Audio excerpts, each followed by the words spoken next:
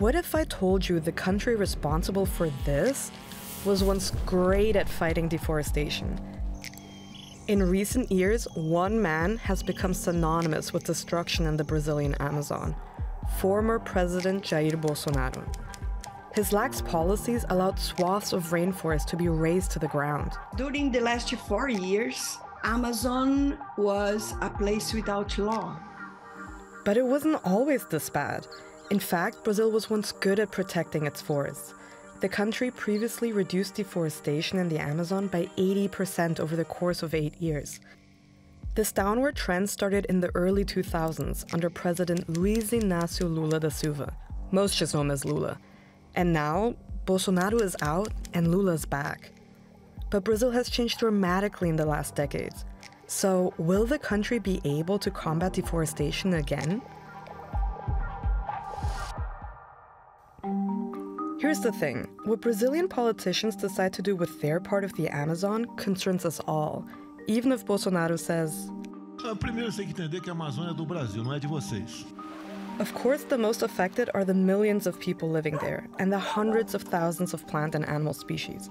But the Amazon also plays a vital role in absorbing enormous amounts of CO2 that keeps the gas from heating the atmosphere and making scenes like these more and more common around the world.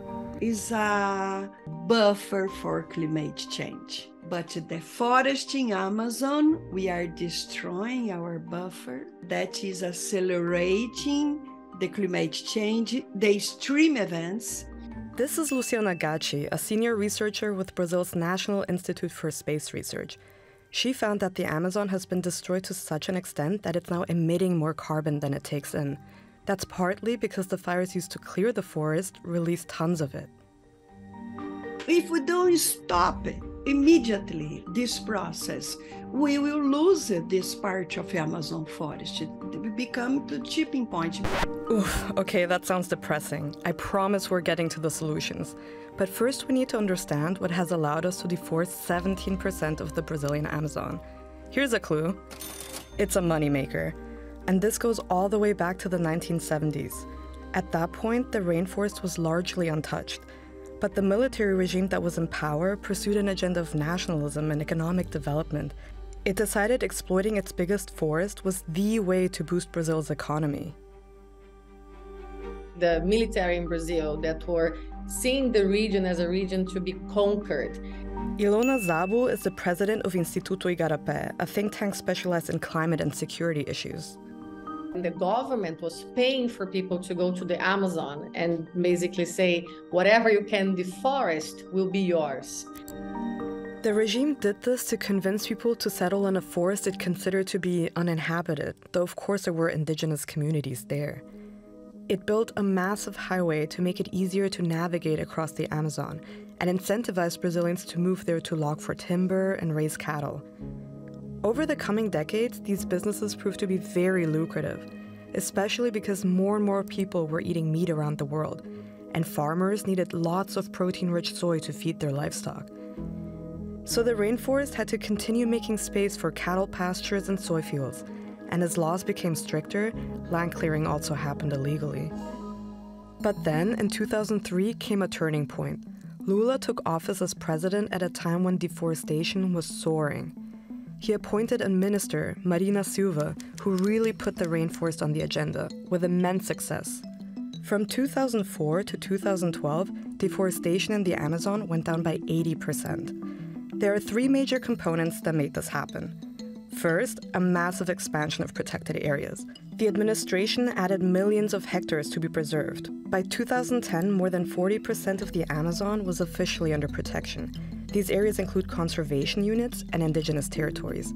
Designating new indigenous territories was especially important because they've been shown to conserve the forest very successfully. Indigenous communities have been managing these territories for centuries. This is Adriana Ramos. She coordinates the NGO Instituto Socioambiental, which focuses on environmental and indigenous rights. So the way indigenous people and other traditional communities deals with the forest is what makes the forest important for us. In general, all the new protections worked as a huge deterrent. Because once you have a protected area, the expectation that one will make money with that land will end. But that didn't mean people could deforest all they wanted in unprotected areas. Here, landowners could only farm on 20% of their territories. And to ensure this, the government ramped up its monitoring. It improved its satellite system to detect deforestation in real time, and it gave better training to environmental authorities and law enforcement to crack down on illegal activities. The final step was to tackle the supply chains. This only became a talking point due to pressure from civil society. Greenpeace had published studies linking deforestation in the Amazon to soy and beef bought by major food companies. The public outcry paid off. It resulted in the soy moratorium and the beef moratorium, voluntary agreements between big food producers to stop buying these goods from newly deforested areas. The soy moratorium was especially successful. It's estimated to have saved 18,000 square kilometers of forest over a decade. You might wonder how did this affect the economy in the Amazon? Well, it still kept growing. Agricultural production actually went up as deforestation decreased. That's because farmers were not using their land efficiently before, and pastures often remained empty. Soon, they were forced to plant crops in some of these underused pastures and stock more cattle on them. If this all sounds too good to be true, it's because it was. Around 2013, deforestation rates started climbing again. During a time of political turmoil, conservative allies of the agribusiness had pushed to weaken the laws protecting forests. And big infrastructure projects were creeping into the Amazon too, like this hydroelectric dam approved by none other than Lula. He said it was necessary for Brazil's energy supply. But it was in 2019 that things really started looking bad for the rainforest.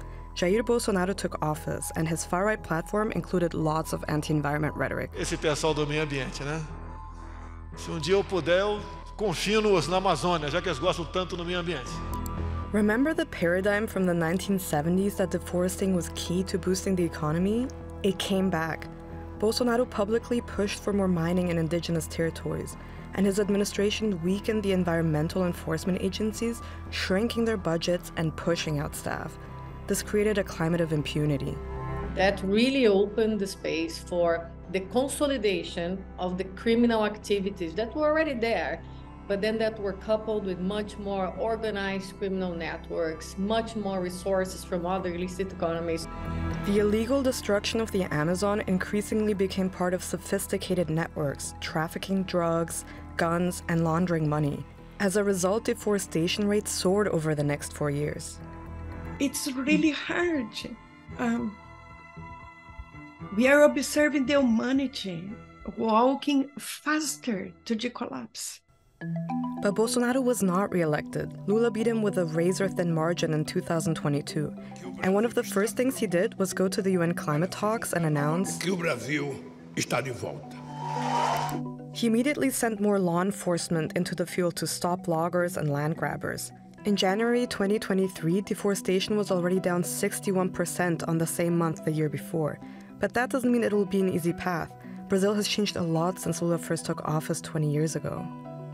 It's a different country, no, no, no doubt.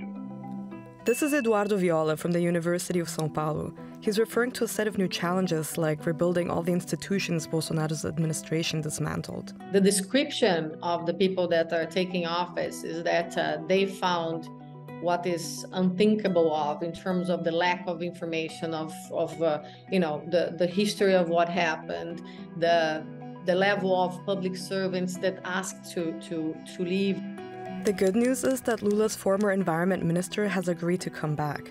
But now her ministry will face a rainforest eroded beyond recognition, filled with sprawling criminal networks and illegal landing strips for their planes.